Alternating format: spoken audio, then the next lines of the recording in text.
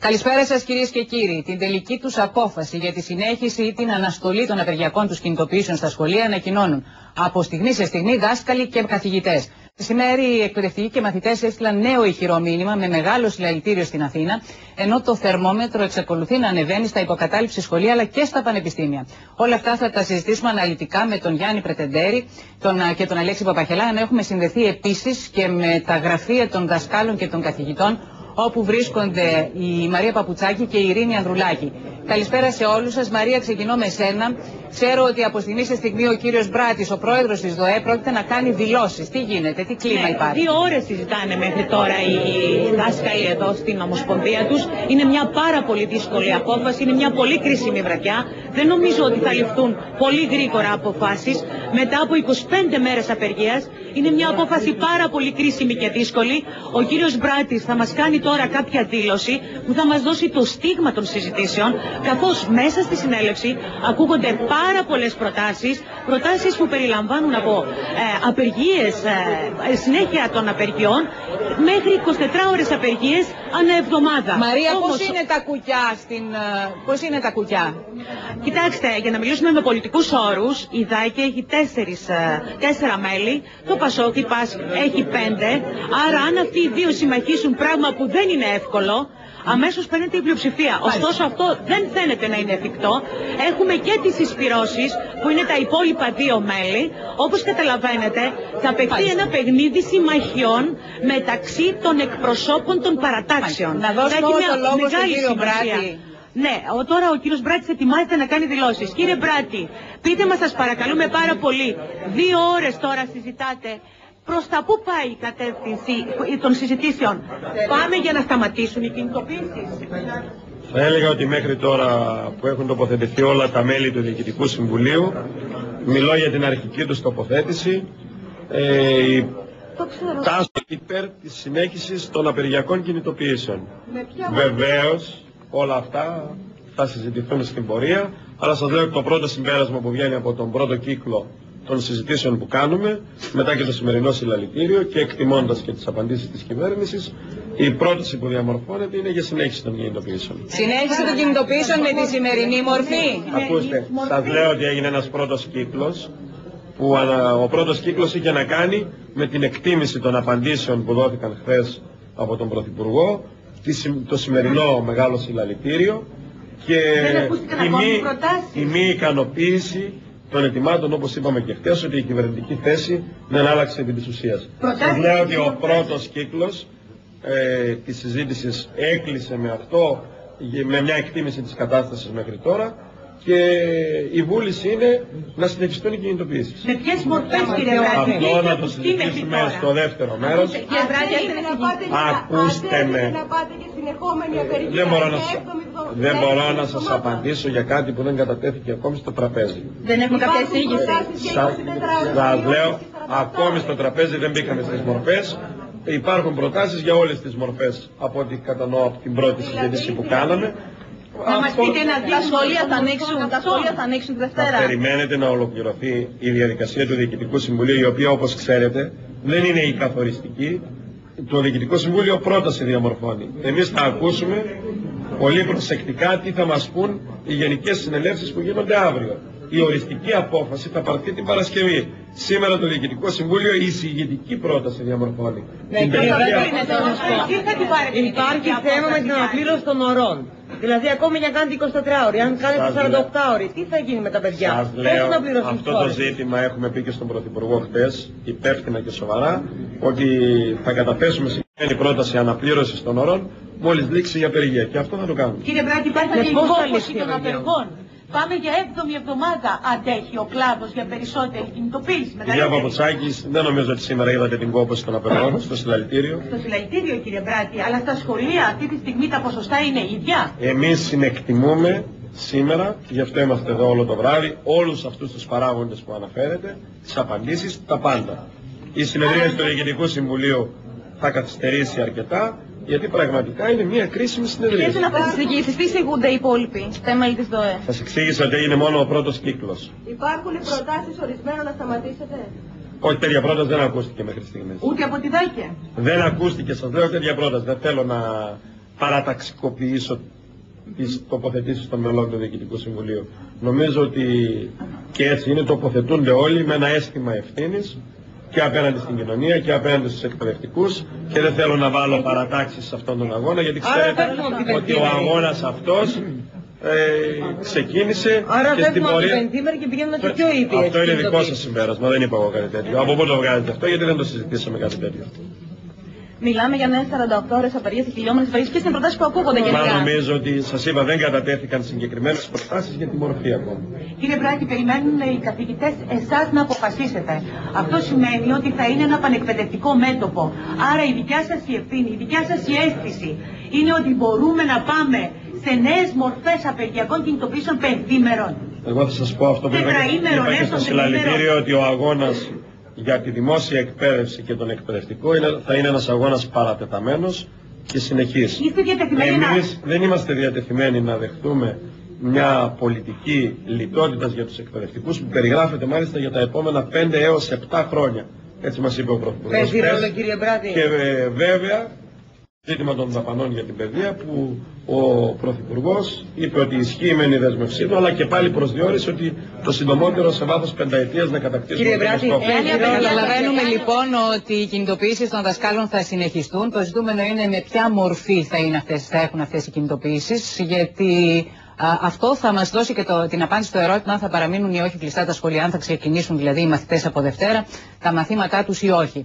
Τώρα, α, από ό,τι καταλάβατε και από τις δηλώσεις του κυρίου Μπράτη, οι εκπαιδευτικοί είναι ευχαριστημένοι από, την, από το πανεκπαιδευτικό συλλαλητήριο, το οποίο έγινε σήμερα στο κέντρο της Αθήνας, όπου έδωσαν όλοι δυναμικό παρόν. Κατά τη διάρκεια πάντως του συλλαλητηρίου δεν έλειψαν τα επεισόδια. Ο πρόεδρος του Πασόκ κατηγόρησε την κυβέρνηση ότι προσπαθεί να διχάσει τους εκπαιδευτικούς, ενώ τα κόμματα της αριστεράς κάνουν λόγο για διαλαξία. Πού να πήγαν της παιδείας τα λεφτά; Όλοι μαζί Βρε Μαριέτα μας απλά Δυναμικό παρόν δασκάλων, καθηγητών, φοιτητών και μαθητών, οι οποίοι μάλιστα έδωσαν ιδιαίτερο παλμό με τα συνθήματα, τα πανό και τα happening στο πανεκπαιδευτικό συλλαλητήριο.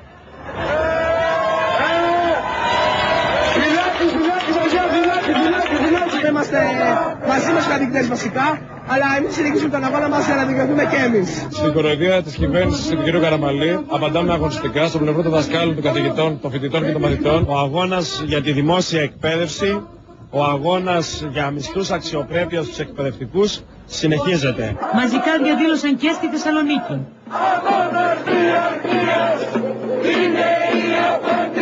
Κατά τη διάρκεια του συλλαλητηρίου στο Σύνταγμα, όμως, κουκουλοφόροι έσπασαν τις τζαμαρίες τεσσάρων τραπεζών στο κέντρο της Αθήνας. Οι αστυνομικοί έκαναν προσαγωγές δύο διαδηλωτών, ενώ συνέλαβαν και δύο νεαρούς. Ένας αστυνομικός τραυματίστηκε ελαφρά από πέτρα, ενώ άγνωστοι έσπασαν το παρμπρίζ του αυτοκινήτου του πρώην Προέδρου της Βουλής, από Σκλαμάνη στην οδό Πεσμαζόγλου. Ένας μαθητής της τρίτης τάξης ηλικίου κατήγγειλε ότι άντρες των ΜΑΤ τον ξυλοκόπησαν χωρίς λόγο.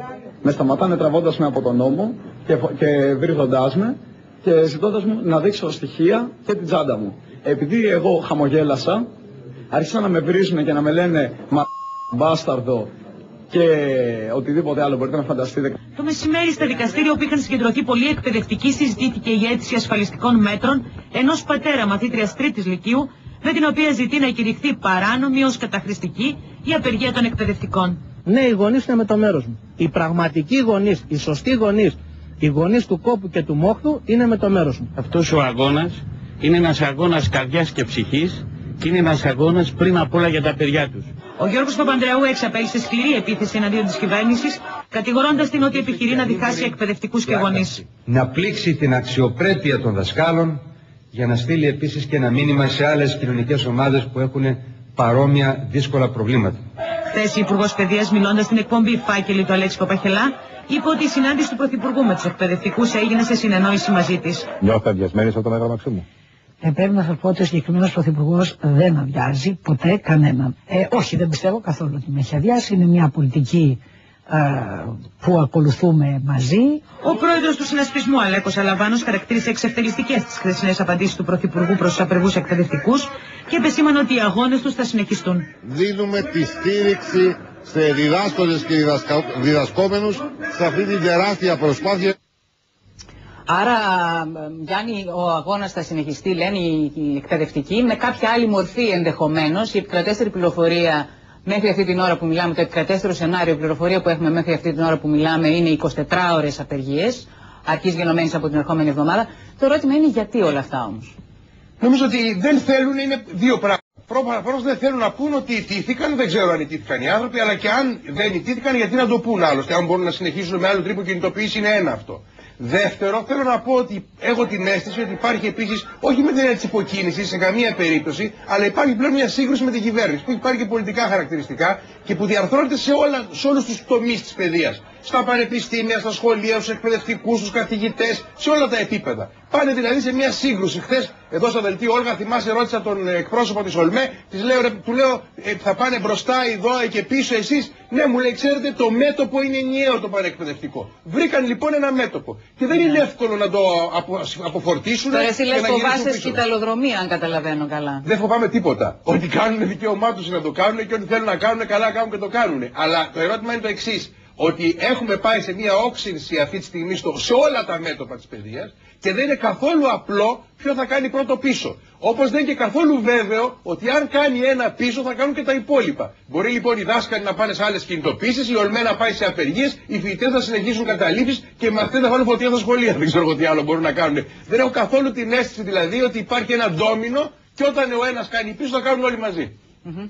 Πάντως το θέμα είναι ότι ε, από τις καταλήψεις αυτή τη στιγμή που ε, υπάρχουν στα περισσότερα σχολεία Αλέξη, το πρόβλημα είναι ότι μπορεί την ερχόμενη εβδομάδα να κλείσει το μέτωπο με τα σχολιά, τα, ενώ τα δημοτικά, και να συνεχιστεί με έναν άλλο τρόπο στα, στο δημόσιο σχολείο, το γυμνάσιο και το λύκειο. Αυτό όμως έχει συγκεκριμένα θύματα.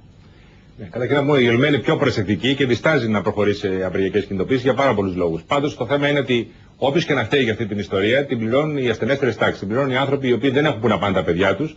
Έχω πάει σε αρκετές δουλειές αυτές τις μέρες και βλέπω ανθρώπους σε τράπεζες, σε νοσοκομεία να έχουν τα παιδιά τους δίπλα τους γιατί δεν έχουν που να τα κάνουν. Και αυτό θα συνεχιστεί. Και δεν είναι λοιπόν οι έφοροι ή εμείς οι δημοσιογράφοι πολιτικοί που προνόμεθα και έχουμε οι περισσότεροι τα παιδιά μας σε ιδιωτικά σχολεία που ενδιαφερόμαστε για αυτή την ιστορία.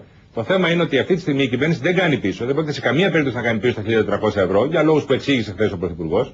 Από την άλλη, όταν είχα ρωτήσει την κυρία Γιαννάκου εάν σκέφτονται το ενδεχόμενο της επιστράτευσης, μου το είχε αποκλείσει. Και συνεπώς το ερώτημα είναι, εάν συνεχιστούν αυτές οι κινητοποιήσεις για δύο ή τρεις εβδομάδες ακόμα, τι θα γίνει. Και κανείς απόψε δεν μπορεί να μας δώσει μια απάντηση σε αυτό το ερώτημα. Ναι, κανένας δεν μπορεί να δώσει απάντηση σε αυτό το ερώτημα, αλλά αν ε, ρωτήσει κανείς τους μαθητές αυτή τη στιγμή, θα πούνε, θα μας πούνε ότι είναι αποφασισμένοι να συνεχίσουν τις καταλήψεις των σχολείων, ακόμα και αν οι καθηγητές τους σταματήσουν την απεργία τους. Στα Γιάννητσά, μαθητές απέκλεισαν την εθνική οδό, ενώ στο, σε υποκατάληψη σχολεία της Αττικής επικράτησε ένταση για μια ακόμα φορά. Θα μπουν τα παιδιά εντάξει από την πόρτα και εκπροσωπεί το σύλλογο. Αν είναι δυνατόν. Ντροπή σου. Άγγελα εμείς γύρω γύρω να περιφράσουν το σχολείο λένε. Αυτό είναι το πρόβλημά σας. Να ξεφύγετε την κοινοποίηση των παιδιών. Οργισμένοι γονείς διαμαρτύρονται στη διευθύντρια του πειραματικού λυκείου Αναβρίτων για τα κάγκελα που τοποθετήθηκαν στις εισόδους του σχολείου. Όπως καταγγέλουν, τα κάγκελα μπήκαν για να σπάσουν την κατάληψη. Εκτό του ότι είναι εκδικητικό απέναντι στις κινητοποιήσεις των παιδιών, προκύπτει άμεσο ζήτημα ασφάλειας. Ασφικτιούμε, νιώθουμε λες και είμαστε σε μια φυλακή. Εν τω μεταξύ, τα επεισόδια στη σχολεία της Αττικής συνεχίζονται. Τη νύχτα, άγνωστοι έριξαν βόμβες Μολότοφ και πέτρες στο πρώτο λύκειο Πετρούπολης. Πρώτα πετάξει μια μολότοφ, ευτυχώς το πετάξαν στο κέντρο του προαυλίου. Ευτυχώς δεν εξεράγει. Η πυροσβεστική υπηρεσία κλήθηκε για πυρκαγιά σε δύο σχολεία, ένα στην Αργυρούπολη και ένα στο Βύρονα. Άγνωστοι έβαλαν φωτιά σε θρανία και καρέκλες. Για τη μολότοφ, εντάξει, ήταν κάπως σοβαρό, αλλά ευτυχώς δεν εξεράγει. Δεν... Καλημέρα τα πρόσωπα αυτή. Ναι, είδε κοκούλε και χασκόλ. Οι μαθητές αποφάσισαν σήμερα να συνεχίσουν τις καταλήψεις ανεξάρτητα από την απόφαση που θα λάβουν οι καθηγητές για την απεργία και να συνεδριάσουν εκ νέου στις 4 Νοεμβρίου. Ανάλογα με το κλίμα που θα έχει ο Υπουργός, ο Υπουργός της Παιδείας με τους καθηγητές, ανάλογα θα πράξουμε και εμείς. Μπορεί να επανέλθετε στο σχολείο πάλι. Βεβαίως, υπάρχει και αυτό το ενδεχόμενο. Ο πρώτος αποκλεισμός δρόμου από μαθητές έγινε το πρωί στα Γιάννητσά. Απέκλεισαν για λίγη ώρα την Εθνική Οδό Θεσσαλονίκης Έδεσας, ενώ πραγματοποίησαν και πορεία στο κέντρο της πόλης. Εδώ πέρα πειρατεί χαμός και είμαστε αποφασισμένοι να συνεχίσουμε μέχρι να ικανοποιηθούν τα αιτήματά μας. Στην Πάτρα, όπου τα μισά γυμνάσια και λύκεια τελούν υποκατάληψη, οι μαθητές έκαναν πορεία στους δρόμους της πόλης και φώναξαν συνθήματα κατά της εκπαιδευτικής μεταρρύθμισης. Έχουμε συνδεθεί και καλησπερίζω τον Παύλο Τσίμα και τον Βαγγέλη Γκαϊντε. Βαγγέλη, λέγαμε νωρίτερα για την ε, χθεσινή και την ε, πορεία τη σημερινή για το πανεκπαιδευτικό συλλαλητήριο και για το γεγονός ότι είχαμε κάποια μικροεπισόδια. Αυτό μου φέρε στην, στο νου, στη μνήμη, την υπόθεση αυτή με τον αστυνομικό και τη σιδηρογροθιά που φαίνεται ότι έχει μια εξέλιξη σήμερα η οποία δεν ήταν ακριβώς η αναμενόμενη.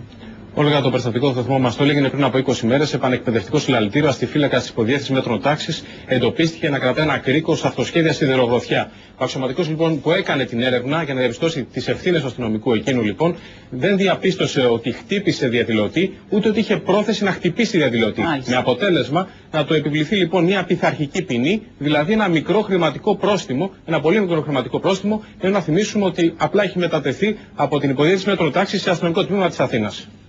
Μάλιστα. Παραξενεύομαι που είπες ότι δεν είναι το αναμενόμενο. Το λέγαμε τότε όταν υπήρχε, όταν είχε ξεσπάσει ο θόρυβος, ότι στις εκατοντάδες ΕΔΕ που έχουν γίνει στην αστυνομία για όλων των ειδών τα παραπτώματα. Στατιστικά ήταν αναμενόμενο. Δεν έχει καταδικαστεί ποτέ κανείς.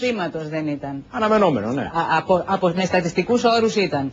Πάμε τώρα στα πανεπιστήμια όπου μένεται ο πόλεμος πλέον της γαλάζιας ΔΑΠ με τις άλλες παρατάξεις για τις καταλήψεις, ενώ δεν λείπουν και οι εκατέρωθαν καταγγελίες για βία επεισόδια. Τα πρώτα μηνύματα από τις μέχρι τώρα συνελεύσεις φαίνεται ότι παραπέμπουν στο ότι δεν υπάρχει καθόλου κλίμα καθολικής συμμετοχής καταλήψεις όπως την Άνοιξη.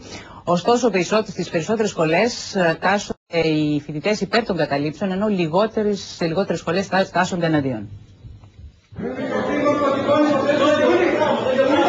Φοιτητές από διάφορες παρατάξεις διασταυρώνουν τα ξύπη τους στη συνέλευση του τμήματος Χημικών του Πανεπιστημίου Πατρών. Μετά από πολλή ώρη συνεδρίαση, οι φοιτητές αποφάσισαν να κλείσουν τη σχολή. Θα μείνουν οι σχολές κλειστές έως ώστε ο κ. Καραμαλής να πάρει πίσω μαζί με την κυρία Γιαννάκοβα να πάρει πίσω αυτό το οποίο έχει προσπογράψει για την παιδεία. Θεωρώ ότι με τις καταλήψεις δεν βγαίνει κάποια άκρη.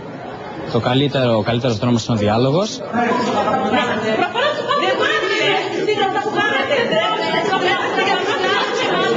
Αλλά και στη Θεσσαλονίκη επικράτησε ένταση μεταξύ των σπουδαστών της ΔΑΠ που πρόσκειται στη Νέα Δημοκρατία και της πανσπουδαστικής που πρόσκειται στο Κομμουνιστικό Κόμμα, καθώς αλληλοκατηγορούνται για βιοπραγίες κατά τη διάρκεια των χθεσινών συνελεύσεων στο ΤΕΗ Θεσσαλονίκης.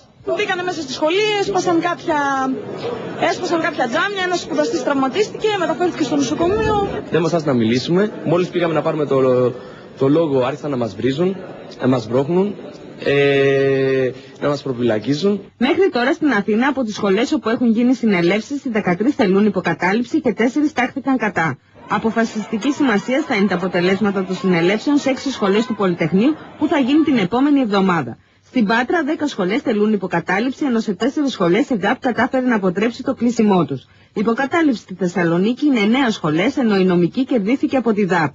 Στο Πανεπιστήμιο Κρήτης, η μία και μοναδική σχολή που έκανε συνέλευση, το χημικό, ψήφισε κατά της κατάληψης. Ε, το, κίνημα, το φυτικό κίνημα δεν είναι απλά σαν βρασμό, αλλά είναι ένα βήμα πριν την έκρηξη. Αλλά και στη χθεσινή συνέλευση του Οικονομικού της Νομικής, οι φοιτητές κατηγορούν τους εκπροσώπους της ΔΑΠ για βιοπραγίες. Με διέκοπτε ο συνάδελφος της ΔΑΠ, υπήρξε μια λογομαχία και αργότερα με γροθοκόπησε έξω από το αμφιθέατρο. Σε άλλες περιπτώσεις είναι οι φοιτητές της ΔΑΠ που καταγγέλουν ξυλοδαρμούς. Με το που βγήκε να τοποθετηθεί ο συνάδελφος της Φουκού άρχισαν να εξεπεμονίζονται μπουκάλια και έγινε μια απίστευτα οργανωμένη και άσχημη επίθεση ε, προς ε, τη ΔΑΠ. Δεν ξέρω, Παύλο, αν φανταζόσουν ότι θα έχουμε και χάρτη καταλήψεων. ότι θα φτάνουμε στο σημείο να δείχνουμε και το χάρτη των υποκατάληψης σχολών. Ναι. Πάντως, ε, το θέμα είναι ότι η επανεμφάνιση της ΔΑΠ στα πανεπιστήμια, γιατί στην προηγούμενη φάση ήταν απούσα, δεν είχε εκτιμήσει ότι θα έχει μαζικό χαρακτήρα η όλη κινητοποίηση.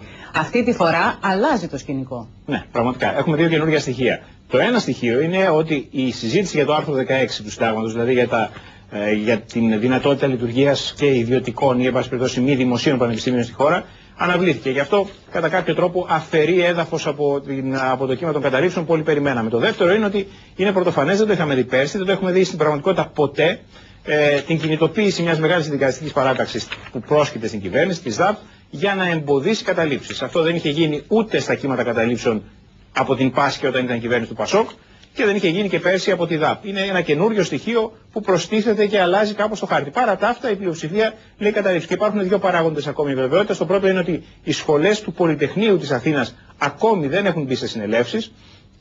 Θα μπουν την εβδομάδα που έρχεται και βέβαια από την εβδομάδα που έρχεται μετράμε αντίστροφα για τον εορτασμό του Πολυτεχνείου που είναι Ω γνωστόν, η μητέρα όλων των α, φοιτητικών μαχών, η επέτειος του Πολυτεχνείου, είναι η κρίσιμη στιγμή όπου α, θα μετρήσουμε κατά πόσο το κύμα των καταλήψεων θα έχει αυτή τη φορά τη δυναμική που περιμέναμε ή η αναβολή του άρθρου 16 και η παρέμβαση της ΔΑΠ το έχει εξασθενήσει. Αυτά λοιπόν από το μέτωπο της παιδείας για την ώρα τουλάχιστον. Η νύχτα θα είναι μακριά. Οι δάσκαλοι και οι καθηγητές αποφασίζουν απόψε, όπως ήδη ακούσατε στην αρχή του δελτίου μας, το αν θα συνεχίσουν και με ποια μορφή τις κινητοποίησεις τους. Τώρα, σε ό,τι αφορά το πολιτικό πεδίο, τέτα τέτ βρέθηκαν σήμερα ο Γιώργος Παπανδρέου με τον Βαγγέλη Βενιζέλο στη Χαριλάου Τρικούπη, 24 ώρες μετά τον καυγά του στο Πολιτικό Συμβούλιο. Λίγο μετά, μάλιστα, ο κ. Βενιζέλος βρέθηκε μαζί με τον πρόεδρο Πασόκ σε ομιλία του στους εκλεγέντες δημάρχους. Και όλα δείχνουν πως και οι δύο πλευρές είναι αποφασισμένες να βάλουν νερό στο κρασί τους και η αντιπαράθεση να μην έχει προς το παρόν τουλάχιστον συνέχεια. Μια προγραμματισμένη σύσκεψη για τη δημόσια διοίκηση έδωσε την ευκαιρία στον κύριο Παπανδρέου και στον Ευάγγελο Βενιζέλο να ξανασυναντηθούν και να δείξουν ο ένας τον άλλον ότι δεν δίνουν συνέχεια στο προχθεσινό σοβαρό φραστικό επεισόδιο. Αμέσως μετά τη σύσκεψη, ο Γιώργος Παπανδρέου, μιλώντας στους εκλεγμένους νομάρχες και δημάρχους του Πασόκ, έδωσε ιδιαίτερη έμφαση στην ενότητα. Έχουμε χρέος να μην απογοητεύσουμε τον ελληνικό λαό και να παλέψουμε ενωμένοι για μια αξιόπιστη πολιτική και κοινωνική ζωή. Μια δίκαιη κοινωνία. Όπως λένε οι παριστάμενοι, ο Γιώργος Παπανδρέου ήταν ιδιαίτερα φιλικός με τον Ευάγγελο Βενιζέλο και η συμπεριφορά των δύο δεν πρόδιδε τι είχε προηγηθεί. Συνεργάτες του κ. Παπανδρέου εξηγούσαν ότι η έντονη λογομαχία στο Πολιτικό Συμβούλιο οφείλεται στη φόρτιση των ημερών και δεν ήταν μια μεθοδευμένη κίνηση. Και διευκρίνησαν ότι ο πρόεδρος του Πασόκ δεν πρόκειται να δώσει συνέχεια. Το μήνυμα αυτό φαίνεται ότι το γνώριζε ο κ. Βενιζέλος όταν πήγαινε το μεσημέρι στη συνάντηση με τον Γιώργο Παπανδρέου. Και ενδεικτικές είναι οι δηλώσεις του αποχωρώντας. Όχι, δεν ήταν αυτό το αντικείμενο της συζήτησης. Το αντικείμενο της συζήτησης ήταν ουσιαστικό και όχι παραπολιτικό. Δεν υπήρξε ποτέ πάγος. Η συνάντηση έγινε παρουσία της Άννας Διαματοπούλου που ήταν το τρίτο πρόσωπο του προχθεσινού επεισοδίου. Όταν τη ζητήθηκε να σχολιάσει το κλίμα στο Πασόκ, προτίμησε να απαντήσει στα αγγλικά με τη φράση «Συνεχίζουμε κανονικά το πρόγραμμά μας». Ο Γιώργος Παπανδρέου πάντως καλείται να απαντήσει στην αμφισβήτηση που δέχτηκε στο διάστημα μεταξύ του πρώτου και του δεύτερου γύρου των εκλογών και όλοι αναγνωρίζουν ότι μόλις σκοπάσει ο θόρυβος που έφερε στο στόχαστρο τη γραμματέα Μαριλίζα Ξενογιανακοπούλου θα προχωρήσει σε αλλαγές στο επιτελείο του. Το Πασόκ είναι ένα μεγάλο δημοκρατικό κόμμα. Ο πλούτος του και η δύναμή του είναι ακριβώς οι πολλές απόψεις, η δυνατότητα διαλόγου. Ενότητα πολιτικής, ενότητα προσώπων, ενότητα όλων μας στη στήριξη του Παπανδρέου. Τώρα, Λέξη, από ό,τι φαίνεται, επικράτησαν ψυχρεμότερες σκέψεις και οι δύο πλευρές δείχνουν να πιστεύουν ότι πρέπει αυτά τα οποία έγιναν στο Πολιτικό Συμβούλιο να τα αφήσουν πίσω τους. Ναι, και ο λόγος είναι ότι σήμερα, από χθες μάλλον, υπάρχουν πηγαδάκια, υπάρχουν τραπέζια μεσημεριανά, βραδινά βουλευτών και στελεχών του ΠΑΣΟΚ, στα οποία αυτό που συζητείται κυρίως είναι το πώς δεν θα πάνε ε, με αυτή την κόντρα ανοιχτή μεταξύ Παπανδρέου και Βενιζέλους στι εκλογές. Ανησυχεί πάρα πολύ, ε, πάρα πολύ κόσμο μέσα στο ΠΑΣΟΚ. Ήδη οι συνεργάτες του κ. Παπανδρέου προσπαθούν να κλείσουν αυτό το μέτωπο και έδωσαν το μήνυμα το οποίο είπαμε. Και υπάρχει ένα δεύτερο θέμα βέβαια το οποίο συζητείται πάρα πολύ αυτές τις μέρες μεταξύ των βουλευτών και στελεχών, το οποίο είναι τι εννοούσε ο πρόεδρος του ΠΑΣΟΚ με αυτές τις αλλαγές τις οποίες προανήγγειλε. Κανείς δεν ξέρει, είναι πάρα πολύ δύσκολο κανείς να καταλάβει αν θα αλλάξει γραμματέα, εκπρόσωπο, το πολιτικό συμβούλιο. Κανείς πραγματικά δεν ξέρει. Είναι πολύ δύσκολο να το προβλέψεις αν ξέρεις τον κύριο Παπανδρέου έως την ώρα της ανακοίνωσης των αλλαγών. Πάντως κάποιοι που λένε ότι ξέρουν πώ σκέφτεται, αν και δεν τους εμπιστεύομαι απολύτως, λένε ότι δεν θα είναι κάτι θεματικό. Από μένα το δούμε. Ναι, δεν, ε, δεν ε, ξέρω αν πρέπει να έχει κανένας προσδοκίες για κάτι πολύ θεαματικό. Φαίνεται ότι αυτό ήταν το αρχικό σενάριο. Το βέβαια είναι ότι δεν θα είναι κάτι που θα γίνει άμεσα, θα γίνει αύριο μεθαύριο. Μάλιστα. Να δούμε Ποτέ όμως... μην προβλέπετε παραμονές εξελίξεων. Ποτέ. Πάντως πρέπει να πω ότι βγαίνοντας Όλγα από το τα Τιχαρελάου του Οικούμου πριν από λίγο ο, ο Νίκος Αθανασάκης για να επιβεβαιώσουν τα σενάρια που θέλουν και τις δύο πλευρές να θέλουν να αφήσουν πίσω τους την αντιπαράθεση. Απαντώντας στην ερώτηση αν υπάρχει, ε, το, το περίμενε ένας δημοσιογράφος και το έβαλε το, το μικρόφωνο, θα έλεγα, στο πρόσωπο. Λέγοντας του, υπάρχει σχέδιο υπονόμηση του, του Γιώργου Παπαδρέου. Α, το απάντησε ο Νίκος Αθανασάκη. Δεν υπάρχει κανένα σχέδιο υπονόμηση του, του Γιώργου Παπαδρέου. Θέλετε με αυτόν τον τρόπο να πει το θέμα έχει λήξει. Το θέμα θεωρείται λήξαν. Οι δύο πλευρές θα πάνε μαζί. Προφανώς με τις με τις κόντρες τους, έτσι. Θα πάνε μαζί έως τις εκλογές. Πάντως όποιος έκανε τον κόπο να ακούσει σήμερα την ομιλία του Γιώργου Παπανδρέου στους δημάρχους, τους εκλεγμένους και τους άλλους αυτοδιοικητικούς, θα καταλάβαινε τι έπρεπε να έχει πει από την πρώτη Κυριακή των δημοτικών εκλογών και δεν θα είχε προκύψει κανένα μα κανένα πρόβλημα. Γιατί η ανάλυση σήμερα του Γιώργου Παπανδρέου είναι δύο τόνους ή δύο βήματα πίσω από αυτά που είπε το πρώτο βράδυ. τι είπε σήμερα; Είπε το κλίμα αλλάζει. Άλλο το κλίμα, άλλο το πολιτικό σκηνικό. Και τι είπε ακόμη. Ότι τη μάχη των εθνικών εκλογών θα τη δώσουμε από μια καλύτερη εφετηρία. Αν όλα αυτά, αυτό ακριβώς αν το είχε πει το πρώτο βράδυ των εκλογών, στον πρώτο γύρο, θα αποτύπωνε και πολύ πιστά την κατάσταση που έχει δημιουργηθεί και το Πασόκ θα ήταν τώρα μια χαρά χειροκροτήματα. Πάντως αυτή η συγκεκριμένη φράση που είπε το βράδυ της Κυριακής, της πρώτης Κυριακής, δηλαδή ότι αλλάζει το πολιτικό σκηνικό, είναι ακριβώς το στοιχείο το οποίο πυροδότησε την σύγκρουση στο Πολιτικό Συμβούλιο. Για να δούμε λοιπόν πώς σχολιάζουν αυτή την επεισοδιακή συνεδρίαση γνωστοί πολιτικοί συντάκτες. Θεωρώ ότι το Πασόκ δεν έχει την πολυτέλεια ανθρωποθυσιών και περαιτέρω ομφαλοσκόπησης. Πολύ περισσότερο δεν έχει την πολυτέλεια για αυτό τον ανούσιο πετροπόλεμο μεταξύ των στελεχών που βρίσκεται σε εξέλιξη και τροφοδοτεί την παραπολιτική και όχι την ουσία της πολιτικής. Δεν διαθέτει την πολυτέλεια του ενός ε, ανδρός αρχής ή την πολυτέλεια της υπονόμησης της ηγεσίας. Η δε ενότητά του δεν μπορεί παρά να, να στηρίζεται πάνω σε μια προγραμματική βάση. Ο κ. Παπανδρέου και οι συνεργάτες του πιστεύουν ότι ο κ. Βενιζέλος υπονομεύει συστηματικά την ηγεσία και εξυπαρχεί. Ο κ. Βενιζέλος, από την πλευρά του, πιστεύει ότι αυτός στη θέση του αρχηγού θα ήταν καλύτερος από τον κ. Παπανδρέου. Ο κ. Παπανδρέου έκανε ένα λάθος στρατηγικής σημασίας. Όχι κατά ανάγκη επειδή έχρισε ως ισοϊψή αντίπαλό του τον Ευάγγελο Βενιζέλο, αλλά επειδή αυτός, ένας πολιτικός νέας εποχής, εμφανίστηκε να επιθυμεί να περιορίσει τη διατύπωση της άλλη άποψης στο εσωτερικό του κομματός. Το επεισόδιο την περασμένη Δευτέρα στο Πολιτικό Συμβούλιο με τον Βαγγέλη Βενιζέλο ήταν κατά τη γνώμη μου και προφανώς Ήθελε να στέλνει ένα μήνυμα όχι μόνο προς τον νοσοκομματικό αντιπαλό του αλλά και προς όλους ότι δεν θα ανεχθεί αμφισβήτηση. Να καλησπερίσω και τον Γιώργο Οικονομέα στο σημείο αυτό και Γιώργο να πάμε στην άλλη αρκετά ενδιαφέρουσα εξέλιξη της σημερινής ημέρας, δηλαδή την απόσυρση άρων-άρων της τροπολογίας η οποία καθιέρωνε ευνοϊκούς όρους για τη συνταξιοδότηση των βουλευτών. Σε μια χρονική στιγμή που θα έλεγε κανένας ότι θα μπορούσε να χαρακτηριστεί έως και προκλητική κίνηση. Στα μουλοχτά πήγε να περάσει η κυβέρνηση μια διάταξη η οποία αντικειμενικά ευνοούσε, φωτογράφιζε και ευνοούσε μερικούς βουλευτές και πολιτι, ε, πολιτευτές, οι οποίοι περάσανε κάποια στιγμή από την Βουλή, κάτσαν δύο-τρία χρόνια, δεν τους έφερε για τη σύνταξη τα τρία χρόνια, θέλανε τέσσερα και. Οπότε έγινε μια διάταξη, αποπειράθηκε η κυβέρνηση να περάσει μια διάταξη που έλεγε ότι συμπεριλαμβάνεται και ο χρόνος προπηρεσία ε, στις γενικές γραμματείες, περιφέρειας, σε μια σειρά από υπηρεσίες. Η κυβέρνηση πανικόβλητη θα έλεγα, ξέροντας τι άλλο θα ξεσπάσει αν αυτή η διάταξη περνούσε, διότι σε μια εποχή που η κυβέρνηση αδυνατεί να δώσει το παραμικρό σε, ε, στους δασκάλους, στους καθηγητές, ε, σε διάφορες κοινωνικές ομάδες, επίδομα θέρμανσης, είναι τουλάχιστον προκλητικό να φαίνεται ότι ευλογάνε τα γένια τους. Και δεν είναι η πρώτη φορά που το κάνουν αυτό. Σήμερα λοιπόν το απόγευμα, αφού κατήγγειλε το Υπουργείο Οικονομικών την υποκρισία του κόμματος Αξιωματικής Αντιπολίτευσης και είπε ότι εκείνο έχει την ευαισθησία να λύσει κάποια προβλήματα, ε, απέσυρε τη διάταξη. Θα επιτρέπεται το Υπουργείο Οικονομικών η ευαισθησία του να λύσει τα προβλήματα των περιφερειακών και των γενικών γραμματέων. Τεράστια ευαισθησία έχει. Είναι και για να έχει μια ανακοίνωση επάνω για να το πει. Έχει μια ευαισθησία την οποία τελικά δεν την έχει γιατί δεν επιμένει στη διάταξη, την απέσυρε. Μα η ευαισθησία είναι απέναντι στους πολλούς να έχει δασκάλους να έχεις ευαισθησία και στους μαθητές και στους εκπαιδευτικούς. Ευαισθησία απέναντι στον Περιφερειάρχη Κεντρικής Μακεδονίας. Πλάκα μας κάνει το Υπουργείο Οικονομικών. Μπορεί ο προπολογισμός για να μην επιβαρυνόταν τόσα πολλά λεφτά, αλλά σε επίπεδο συμβολισμών είναι προκλητικό. Είναι σαν, είναι σαν αυτήν στου άλλους που ζουν κάτω από το όριο της φτώχεια και να τους λες ότι εγώ νοιάζομαι να αποκαταστήσω κάποιους που περάσαν από τη Βουλή. Και ευλογά στα γένια. Ε, Αυτή είναι, είναι η μία πλευρά η πλευρά με των χρημάτων. Η άλλη πλευρά είναι το, το περίφημο όριο ηλικίας συνταξιοδότησης που είναι μια συζήτηση η οποία έχει φουντώσει το τελευταίο διάστημα. Εδώ πέρα πρόκειται για μια εντελώς φωτογραφική διάταξη που αφορά 20 ανθρώπους, όχι παραπάνω. Λέμε στους ανθρώπους να μην συνταξιοδοτούνται στα 65, αλλά μήπως συνταξιοδοτηθούν στα 67 και ξαφνικά την ίδια περίοδο γίνεται μια κίνηση για να νομοθετηθεί για ορισμένες κατηγορίες ανθρώπων να συνταξιοδοτούνται, συνταξιοδοτούνται στα 4 χρόνια. Ναι, και παρότι μπορεί να είναι ένα θέμα που μπορεί να κινδυνεύσει να πει ότι είσαι λαϊκιστής, ας πούμε, ο άλλος φτύνει αίμα και χύνει το, το, το μητρότητα του επί 35 χρόνια και του λένε Όχι, δεν θα πάρεις σύνταξη, θα πάρεις σχεδόν όταν πεθάνεις. Και οι άλλοι με τέσσερα χρόνια θέλουν να παίρνουν σύνταξη και μάλιστα με αυτόν τον τρόπο. Το timing ήταν ατυχές. Πάμε να δούμε λοιπόν τι έγινε με αυτή την περίφημη διάταξη.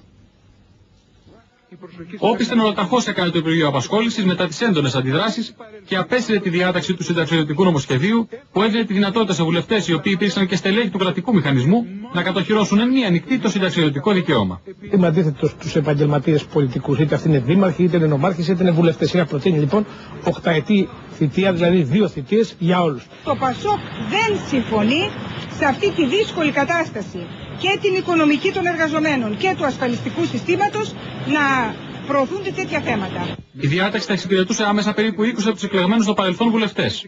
Ενώ πληροφορίες αναφέρουν ότι η ενήμερη για την εξέλιξη αυτή ήταν και η Ένωση Τεό Βουλευτών. Συγκεκριμένα για κάποιον που δεν έχει συμπληρώσει την τετραετία εντός κοινοβουλίου που απαιτείται για τη βουλευτική σύνταξη, με τη διάταξη αυτή θα συνυπολογιζόταν ο χρόνος υπηρεσίας επικοινωνιευτικών κυβερνήσεων σε θέσεις γενικών γραμματέων Βουλής ή Υπουργείων ή Υπουργικού Συμβουλίου ή προϊσταμένων γενικών γραμματιών ή περιφέρειας. Οι βουλευτές πρέπει να έχουν αξιοπρεπείς απολαυέ για να κάνουν το καθήκον τους. Εάν δεν θέλουμε βουλευτές με αξιοπρεπείς απολαβές, τότε θα πρέπει να αποφασίσουμε να γίνονται βουλευτές μόνο οι γόνοι πολιτικών οικογενειών, οι ευκατάστατοι. Στην Ολομέλεια της Βουλής, ωστόσο, στις περισσότερες περιπτώσεις οι ειδικές ρυθμίσεις για τους βουλευτές προκαλούν έντονη αντιπαράθεση.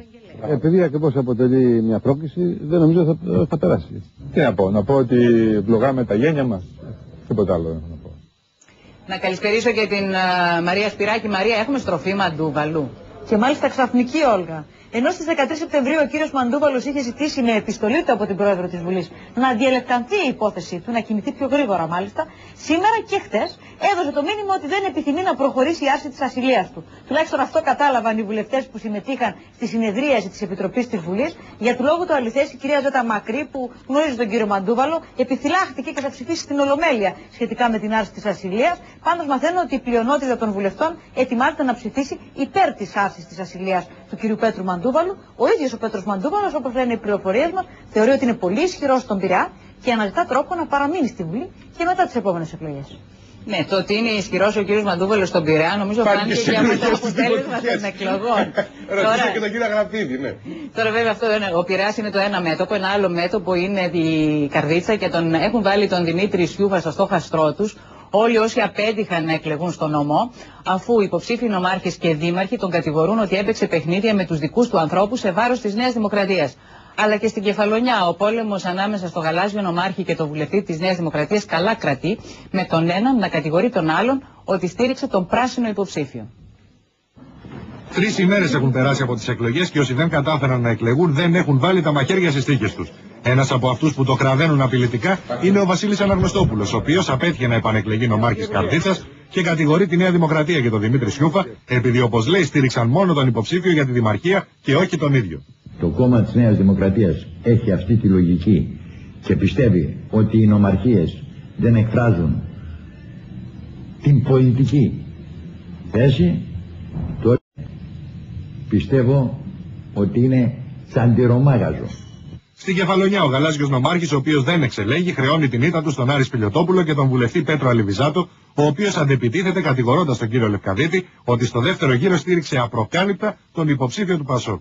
Η νεοδημοκρατική νομαρχία, δεν μιλάω για πρόσωπα, χάθηκε λόγω των ενεργειών, ενεργειών κατ' εμέ ανηθίκων του ιδίου του κυρίου Λευκαδίτη. Και στη Μαγνησία όμως τα αλληλομαχαιρώματα μεταξύ των Θανάση Νάκου, Ζέτα Μαχρή και Γιώργου Σούρλα στήχησαν την εκλογή του γαλάζιου υποψήφιου νομάρχη Γιάννη Πρίτζου αλλά και κάποιων δημάρχων της περιοχής. Ο Κωνσταντίνος Κανάρης, που εξελέγει με μία μόλις ψήφο στο Δήμο Φερών, κάνει λόγο για υπονόμευση του αγώνα του. Μόνο ότι γραμμιτοποιήσω τρεις συνδυασμούς απέναντί μου και όλο τους μεγαλοσχήμονες της Νέας Δημοκρατίας. Γκρίνια κατά βουλευτών της Νέας Δημοκρατίας υπάρχει και στη Ραφίνα από τον γαλάζιο υποψήφιο Γιώργο Χριστόπουλο, ο οποίος έχασε από τον υποψήφιο του Πασόκ Ανδρέα Κεχαγιόγλου. Ο κ. Χριστόπουλος κατηγορεί εμέσως την ηγεσία του κόμματος για απραξία. Ε, το θέμα της βοήθειας είναι στον, ε, στον πρωτοεμφανιζόμενο αντάρτη, θα έλεγα. Βοηθήσαν εκεί. Εκεί δεν τον βοήθησαν, αλλά δεν έπαιξαν κανένα ρόλο ούτως ώστε να αποσυρθεί. Στο οικονομικό πεδίο τώρα, ένα βήμα πίσω κάνει η κυβέρνηση στο καυτό ζήτημα της ενοποίησης των Ταμείων Κύριε και Επικουρικής Ασφάλισης. Ο Σάβα Τιτουρίδη ουσιαστικά παρέπεμψε την επίλυση του θέματος αυτού μετά τις βουλευτικές εκλογές. Στελέχοι της ΓΕΣΕ εκτιμούν ότι η κυβέρνηση δεν θέλει να ανοίξει ένα τόσο καυτό θέμα αυτή τη στιγμή, επειδή φοβάται τις αντιδράσεις κατά τη διάρκεια μιας παρατεταμένης εκλογικής περίοδου. Ο Υπουργός Απασχόλησης, μετά την συνάντηση που είχε με το Προεδρείο της ΓΕΣΕ, για πρώτη φορά άφησε ανοιχτό το ενδεχόμενο η ενοποίηση των ταμείων να γίνει μόνο όταν ολοκληρωθεί ο κοινωνικός διάλογος και χωρίς δεσμευτικές ημερομηνίες. Υπάρχει εξέλιξη στη συνεργασία την οποία έχουμε τη ΓΕΣΕ. 31 Δεκάτου του 2007 θα τελειώσει όταν, όταν θα εξαντλήσουμε τα περιθώρια διαβούλευσης, θα σας απαντήσουμε. Γιατί η κυβέρνηση υπαναχώρησε σε ένα τόσο κρίσιμο θέμα; Για δύο λόγους εκτιμούν τα στελέχη της ΓΕΣΕ. Πρώτον, επειδή μπαίνουμε σε προεκλογική περίοδο και η κυβέρνηση δεν θέλει κοινωνικές εντάσεις σε ένα τόσο καυτό θέμα. Και δεύτερον, επειδή μόνο για το 2007 το ΙΚΑ θα χρειαστεί ένα δισεκατομμύριο 100 εκατομμύρια ευρώ σε περίπτωση ενοποίησης. Μέχρι τώρα το οικονομικό επιτελείο της κυβέρνησης δεν γνωρίζει από πού θα βρεθούν τόσα χρήματα. Καμία λύση δεν μπορεί να προχωρήσει αν δεν αποκατασταθεί αυτή η, χρηματο... η χρηματοοικονομική ισορροπία. Η επικουρική ασφάλιση θα δεχτεί πλήγματα μέσα από την διαδικασία των ενοποιήσεων. Το ΠΑΣΟΚ κατηγορεί την κυβέρνηση για ασυνέπεια στο ασφαλιστικό και την θεωρεί υπεύθυνη για την δραματική όπως την χαρακτηρίζει υποχρηματοδότηση των ταμείων αφού το κράτος χρωστά σε αυτά 3 δισεκατομμύρια 400 εκατομμύρια ευρώ. Το κράτος είναι ο μεγάλος οφειλέτης, δεν πληρεί τις, προ... τις υποχρεώσεις του για την τριμερή χρηματοδότηση, ο μεγάλος μπαταξής θα λέγαμε. Νέα συνέχεια στο γνωστό πόλεμο του γάλακτος μετά τη συμφωνία γνωστής εταιρείας για πώληση φρέσκου γάλακτος στους φούρνους με 89 λεπτά, αλλά και την ανακοίνωση της εξαγοράς ποσοστού της Μεγράλ από τη Βιβάρτια. Την ίδια ώρα οι κτηνοτρόφοι εξήγηλαν κινητοποιήσεις γιατί διαμαρτύρονται για τη μείωση της τιμής του, του εγωπρόβιου γάλακτος. Ο πόλεμος στην αγορά του φρέσκου γάλακτος φουντώνει με την είσοδο της Αγνό στα περίπου 1.600 αρτοπία της Αθήνας. Μετά από ειδική συμφωνία, οι καταναλωτές μπορούν να αγοράζουν ως το τέλος του 2007 το γάλα της εταιρείας από το φούρνο της γειτονιάς προς 89 λεπτά το λίτρο. Έχουμε τέσσερα χρόνια που ψάχνουμε να βρούμε έναν τρόπο ώστε να μην φαίνεται ότι ο αρτοπίο είναι κλέφτης με το γάλα. Γιατί το γάλα εμείς το αγοράζουμε 10 λεπτά πιο πολύ από ό,τι το πουλάει το σούπερ μάρκετ. Μέχρι σήμερα φθηνό γάλα ιδιωτικής ετικέτας πολλούσαν μόνο μεγάλες αλυσίδες σούπερ μάρκετ σε τιμές από 79 λεπτά ως 1 ευρώ το λίτρο. Πρόκειται για στρατηγική κίνηση και από την πλευρά των αρτοπιών, καθώς η συγκεκριμένη τιμή είναι φθηνότερη κατά 51 λεπτά σε σχέση με το γάλα των εταιριών που πολλούν οι φούρνοι και κοστίζει ως 1,40 ευρώ. Σημειώνεται ότι από τα μικρά καταστήματα όπως οι φούρνοι, τα παντοπολία και τα ψιλικατζίδικα διακινείται το 50% της αγοράς του γάλακτος. Οι καταναλωτές ελπίζουν ότι και οι άλλες εταιρείες θα αναγκαστούν να μειώσουν τις τιμές τους. Θα ψάξουμε να βρούμε το φθηνό. Και πρέπει να το ψάξουμε να το βρούμε. Είναι καλό το γάλα, είναι συμφέρουσα. Από εκεί πέρα, αναλόγως που προτιμάει ο καθένας. Ο πόλεμος των γαλακτοβιομηχανιών για αύξηση της κυριαρχίας του στην αγορά φουντώνει ακόμη περισσότερο με την εξαγορά του 21% της Μευγάλ από τη Βιβάρτια που ελέγχει τη Δέλτα Γάλακτος. Την ίδια ώρα οι κτηνοτρόφοι βρίσκονται στο πόδι, καθώς οι τιμές τις οποίες αγοράζουν το εγωπρόβιο γάλα οι εταιρείες είναι μειωμένες κατά 13% σε σχέση με πέρυσι θα απαγορευτούν από τον επόμενο μήνα σε όλες τις πτήσεις εσωτερικού και εξωτερικού τα υγρά στις χειραποσκευές. Καλά, ακούσατε. Οι επιβάτες θα είναι υποχρεωμένοι να μεταφέρουν σε ειδική σακούλα, την οποία θα παραλαμβάνουν στο αεροδρόμιο, ενώ αρκετές φορές θα καλούνται ακόμα και να δοκιμάζουν τροφές σε υγρή μορφή.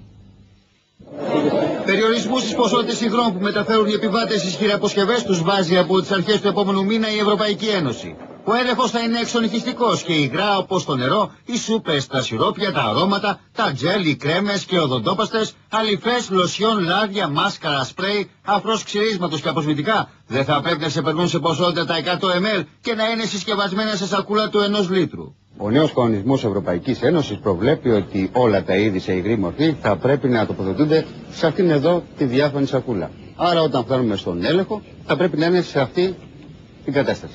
Οι περιορισμοί ισχύουν για όλες τις πτήσεις εξωτερικού και εσωτερικού. Όπως λένε οι επιβάτες, ο έλεγχος για την εφαρμογή των νέων κανονισμών θα προκαλέσει καθυστερήσεις στην ακριβή αναχώρηση των πτήσεων. Θεωρώ ότι είναι υπερβολικά, γιατί δεν υπάρχει λόγος τουλάχιστον στην Ελλάδα που είμαστε, να υπάρχουν αυτά μέτρα. Προβλέπονται όμως και εξαιρέσεις για περιπτώσεις ειδικών διατροφικών αναγκών, όπως οι παιδικές τροφές και για ιατρικούς λόγους. Στην Αθήνα υπάρχει περίπτωση να μου πούνε πέταξέ το ή να το πετάξω εδώ ή να μην το βάλω καθόλου μέσα να μην το βάλεις. Φτάνοντα οι ταξιδιώτες στι πύλες ασφαλείας, θα πρέπει να βγάζουν το σακάκι ή το πανοπόλι τους προκειμένου να γίνει ξεχωριστός έλεγχος. Σύμφωνα με πληροφορίες, τους επόμενους 6 μήνες οι Βρυξέλλες θα θέσουν σε εφαρμογή ένα ακόμη κανονισμό που θα ισχύει σε όλα τα αεροδρόμια της Ευρωπαϊκής Ένωσης. Και αυτή τη φορά αφορά τον αριθμό και το μέγεθος των χειραποσκευών που θα έχουν οι επιβάτες μαζί τους στο ταξίδι. Σκεφτείτε τι έχει να γίνει και πόσο θα καθυστερούν για τον λόγο αυτό οι πτήσεις από εδώ και πέρα, αφού του δηλαδή εφαρμοστεί αυτό το μέτρο.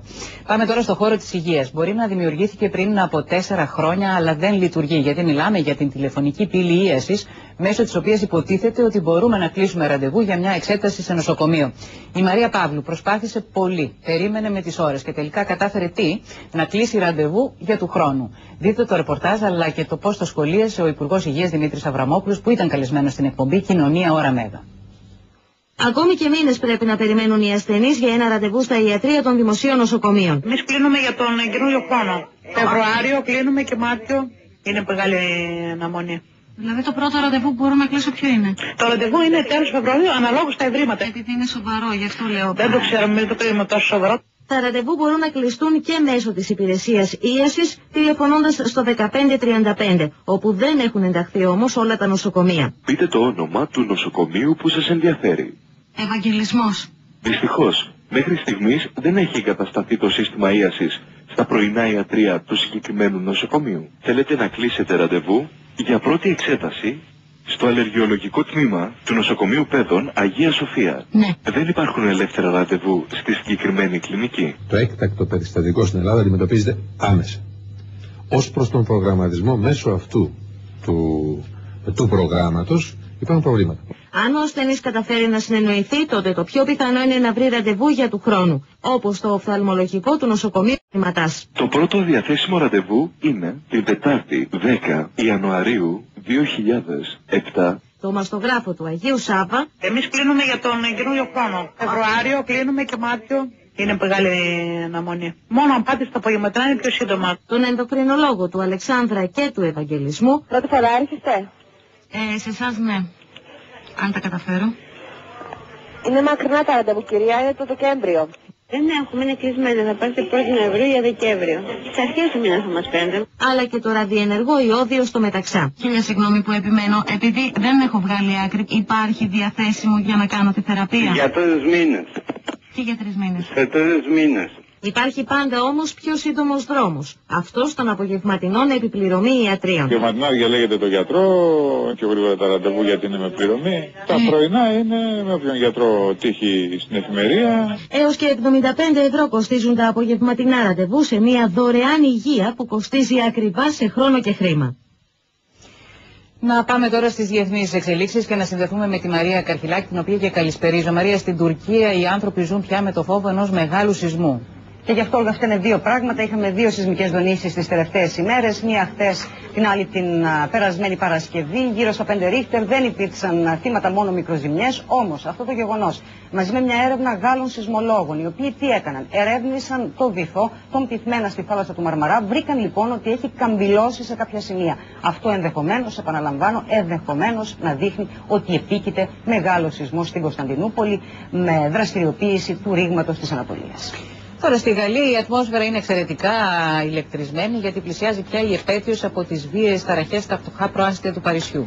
Πριν από ένα χρόνο και δυστυχώς μέσα σε όλο αυτό το διάστημα τίποτε δεν έχει γίνει. Το πρόβλημα είναι γνωστό, το ότι δηλαδή δεν έχουν ενσωματωθεί στη γαλλική κοινωνία τα παιδιά των μεταναστών που είναι Γάλλοι πολίτες. Δυστυχώς αυτό το πρόβλημα δεν έχει λυθεί και θα δείτε με πιο χαρακτηριστικό τρόπο στο ρεπορτάζ του Τρίφωνα Καϊσερλίδη αντέδρασε σήμερα στα παραπονά τους ο πρόεδρος της Γαλλικής Βουλής.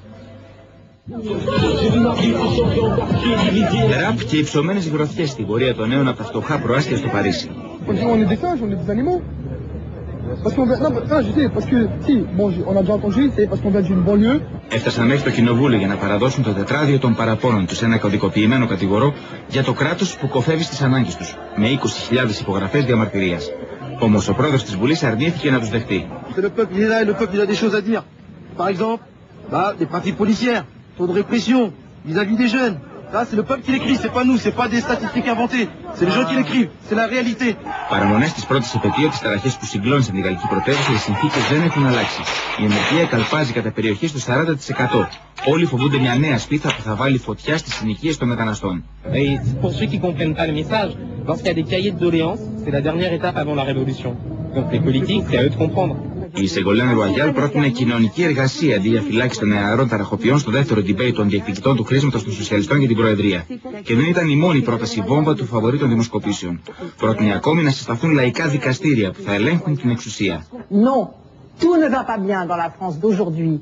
Alors je vous le dis, si on a peur du peuple, si on a peur des jurys citoyens, parce qu'on va tirer 15 personnes au sort et, on se, et les élus se sentiraient mis en cause. Est-ce que les citoyens devraient Oui. assister au Conseil oui, des ministres monsieur. Ça vaut un, pour un Conseil des ministres. Depuis, moi, je ne fais pas partie de ceux qui pensent qu'on peut bâtir une société sur la suspicion généralisée. Στην Ισπανία και την Πορτογαλία τώρα, οι οποίες δοκιμάζονται από τη σφοδρή κακοκαιρία. Θύελωδες άνεμοι λοιπόν και καταρακτώδεις βροχές που παρασύρουν τα πάντα στο πέρασμά τους από ξεριζωμένα δέντρα μέχρι βράχια. Πολύ δύσκολες ώρες για τους κατοίκους της Κορούνια για τέταρτη φορά. Σαρώνουν περιοχή από πλημμύρες τον τελευταίο μήνα. Οι καταιγίδε πλήττουν τη Γαλλική στη Δυτική Ισπανία από την Κυριακή και χθε τα αρνητικά νερά κατέκλυσαν του δρόμου, πλημμυρίζοντα σπίτια και καταστήματα και αναγκάζοντα τι αρχέ να κηρύξουν την περιοχή σε κατάσταση έκτακτη ανάγκη.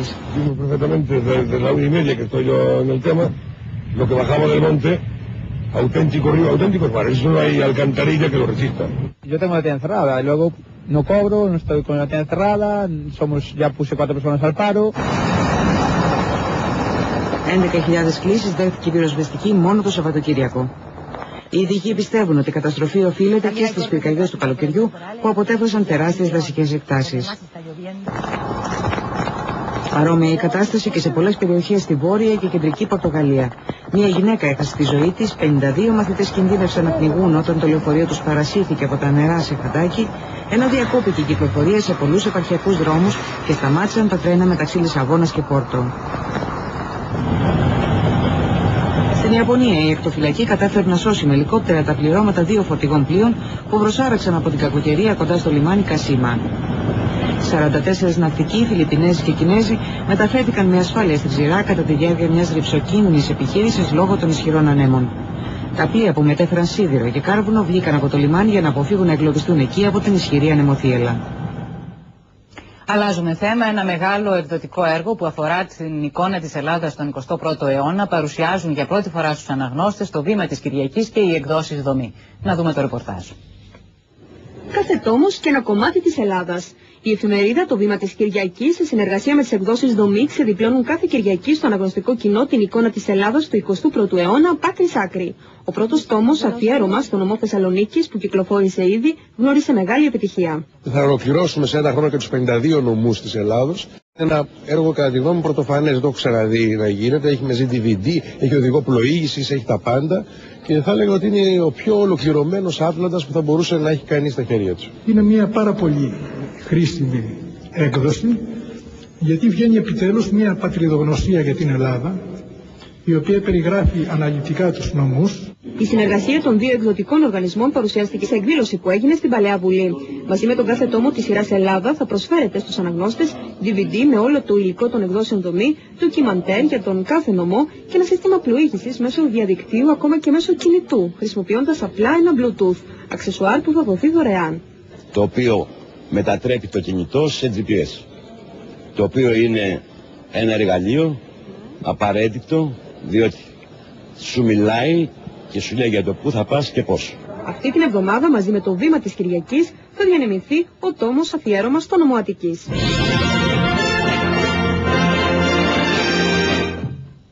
Χαίρετε κυρίες και κύριοι. Ανοιχτή παραμένει η κόντρα του Τρότ Σόλιτ με τον Ριβάλντο στον Ολυμπιακό. Καθώς την ώρα που οι δυο τους είχαν συνάντηση διάρκεια 40 λεπτών, ο Βραζιλιάνος με δήλωσή του άφηνε νέες εχμέ κατά του Νορβηγού προπονητή. Στο θέμα της βίας στα γήπεδα, κόντρα έχει ξεσπάσει μεταξύ των ομάδων και της πολιτείας. Ο Ριβάλντο απέναντι στον Σόλιτ. Μια εβδομάδα μετά τη σύγκρισή τους λόγω της ήττας από τη Ρώμα, οι δύο τους είχαν σήμερα τέτα τέτ προκειμένου να χαμηλώσουν οι τόνοι στον Ολυμπιακό. Ωστόσο, την ίδια ώρα ο Ριβάλντο με δήλωσή του στην προσωπική του ιστοσελίδα άφηνε νέες αιχμέ φωτογραφίζοντας εμέσως τον προπονητή του. Δούλεψα πολύ για να φτάσω εδώ που είμαι και γι' αυτό, αν κάποια άτομα δεν θέλουν να προστατεύσουν το όνομά μου, εγώ ίδιο θα το κάνω. Συγγνώμη αν κάποιοι πιστεύουν πως είμαι λάθος. Ο Ριβάλντο δηλώνει επίσης ντροπιασμένος για την πορεία του Ολυμπιακού στο Champions League και ότι αν εξαρτηθεί από τον ίδιο θα δώσει τα μέγιστα στην προσπάθεια διάκρισης στην Ευρώπη.